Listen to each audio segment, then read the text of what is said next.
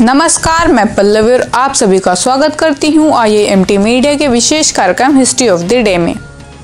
महात्मा गांधी ने आज के दिन शुरू किया था ऐतिहासिक डांडी मार्च। इतिहास में 12 मार्च 1930 की तारीख महात्मा गांधी के डांडी मार्च के लिए विशेष रूप से उल्लेखनीय है। इसे स्वतंत्रता संग्राम का अहम पड़ाव माना जाता है।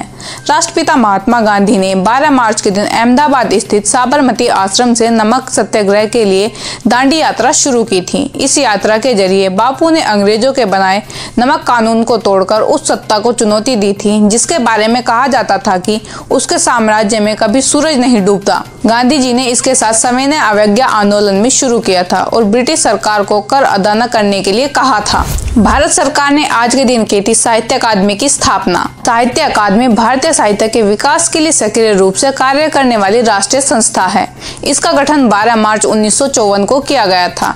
साहित्य अकादमी का उद्देश्य उच्च साहित्यिक मापदंड स्थापित करना, भारतीय भाषाओं और देश में होने वाली साहित्यिक गतिविधियों का पोषण और समन्वय करना है।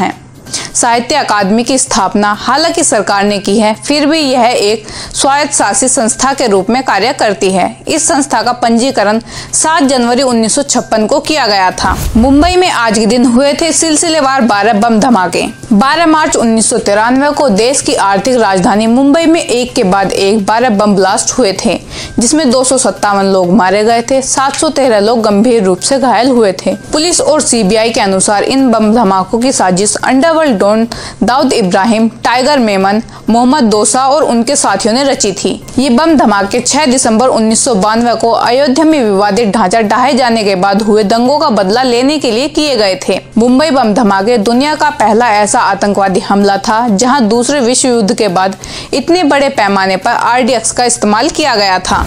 प्रसिद्ध वायलिन वादक यहूदी मेनुहिन का आज के दिन हुआ था निधन। सुप्रसिद्ध वायलिन वादक और प्रस्तोता यहूदी मेनुहिन का निधन 12 मार्च 1999 को हुआ था। यहूदी मेनुहिन को 20वीं सदी के महानतम वायलिन वादकों में माना जाता है।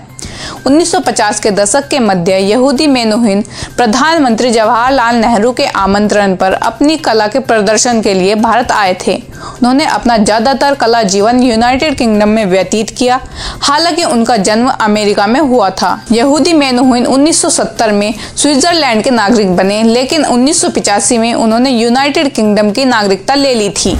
आज के लिए बस इतना ही। कल फिर भेंट होगी इतिहास में दर्ज कुछ और महत्वपूर्ण घटनाओं के साथ। और अब आज का राशिफल।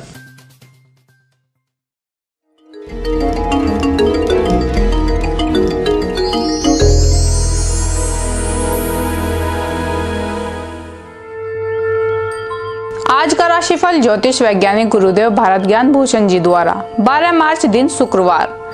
आज के भाग्य की विषय वस्तु है सुख ऐश्वर्य।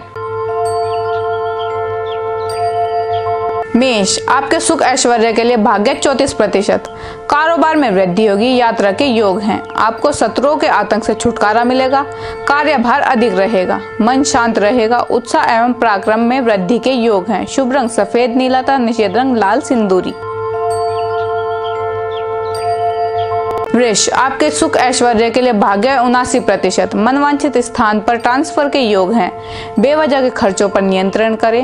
आपको पारिवारिक समस्याओं से मुक्ति के योग हैं। कार्य क्षेत्र में अपने पराक्रम से समस्याओं का नियंत्रण कर लेने के योग हैं। शुभ रंग अल्ट्रा व्हाइट मल्टी कलर तथा निषेध रंग गुलाबी बसंती। मिथुन, आपके सुख ऐश्वर्य के लिए भाग्य इकहत्तर प्रतिशत। विद्यार्थियों के लिए समय अनुकूल है। आपके स्वास्थ्य पर ध्यान दें। संतुलित भोजन करें। आपकी पदोन्नति होने की संभावना है। कार्य क्षेत्र में प्रगति के योग हैं। शुभ रंग हरा, सफ़ेद और निषेध रंग पीला, काला। कर्क, आपके सुख ऐश्वर्य के लिए भाग्य सतहत्तर प्रतिशत। स्वास्थ्य सामान्य रहेगा और आमदनी बढ़ने के साथ साथ रुका हुआ पैसा भी मिलेगा। छात्रों को सफलता मिलने के प्रबल योग हैं। आपके खर्चे बढ़े हुए रहेंगे।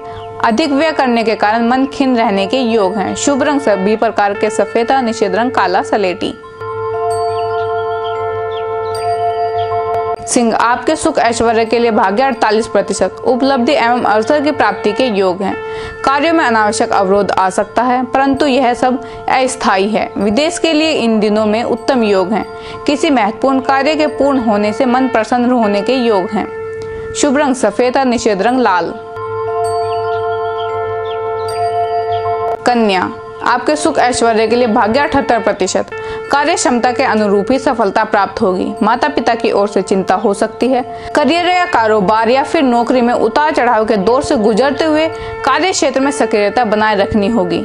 भाग्य में वृद्धि के योग हैं। शुभ रंग हरा, सफ़ेद और निषेध रंग पीला, लाल। तुला, आपके सुख ऐश्वर्य के लिए भाग्य अठासी प्रतिशत। समय सुबह लाभ प्राप्त होगा। नए लोगों के साथ व्यवसाय के अवसर मिलेंगे। परिवार में आंतरिक कला खत्म हो जाएगी। कार्य क्षेत्र में अनुकूलताएँ बने रहने के योग हैं। शुभ रंग अल्ट्रा व्हाइट मल्टी कलर तथा निषेध रंग पीला, लाल। वृश्चिक आपके सुख ऐश्वर्य के लिए भाग्य 45 प्रतिशत। स्वास्थ्य आदि की दृष्टि से कुछ परेशानी हो सकती है। ध्यान रखें, भाग्य आपके साथ है, समय अनुकूल चल रहा है। निवेश शुभ रहेगा। कार्य क्षेत्र में उच्च अधिकारियों से तनाव उत्पन्न होने के योग हैं। शुभ रंग सफ़ेद, निषेध रंग सिंदूरी। धनु आपके सुख ऐश्वर्य के लिए भाग्य उनचास प्रतिशत। व्यवसायियों को अच्छे व बड़े ग्राहक मिल सकते हैं। पूर्व में जो उधार दिया था, उसकी प्राप्ति संभव है। योजनाबद्ध तरीके से लक्ष्य की ओर बढ़ें। बचत पर ज़्यादा ध्यान रहने वाला है।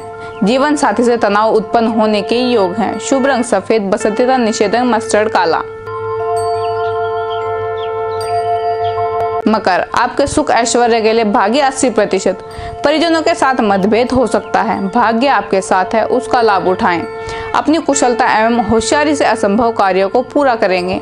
उद्यमशीलता एवं पहल करने की क्षमता बढ़ेगी। उत्साह एवं पराक्रम में वृद्धि के योग हैं। शुभ रंग काला, सफ़ेद निषेध रंग, लाल, पीला। कुंभ आपके सुख ऐश्वर्य के लिए भाग्य इक्यासी प्रतिशत। कार्य की अधिकता रहेगी, परंतु गर्व का भी अनुभव होगा। समय अनुकूल है। जीवन साथी का पूर्ण संयोग प्राप्त होगा। संबंधों में शुभ समाचार की प्राप्ति होगी। ज़मीन जायदाद से संबंधित मामले भी सुलझने के योग हैं। शुभ रंग काला, सफ़ेद, और निषेध रंग लाल, पीला। मीन, आपके सुख ऐश्वर्य के लिए भाग्य छियालीस प्रतिशत। कारोबार में अनुकूलता बनी हुई है। आकस्मिक रूप से महत्वपूर्ण कार्य सिद्ध होंगे। आपके कुछ काम दोस्तों और भाइयों की मदद से पूरे हो जाएँगे। आप स्वभाव से थोड़ा चिड़चिड़े, पदोन्नति के योग हैं। शुभ रंग सफ़ेद और निषेध रंग पीला। सभी के लिए दिन का नकारात्मक प्रभावी समय प्रातः दस बजकर छत्तीस मिनट से दोपहर बारह बजकर इक्कीस मिनट तक। अधिक जानकारी के लिए संपर्क करें ज्योतिष वैज्ञानिक गुरुदेव भारत ज्ञान भूषण जी को। शून्य एक दो एक दो छः छः आठ आठ आठ या शून्य नौ आठ तीन सात शून्य छः शून्य शून्य चार छः पर। आज के लिए बस इतना ही। कल फिर मिलेंगे नई जानकारियों के साथ। तब तक देखते रहिए सब्सक्राइब कीजिए आई मीडिया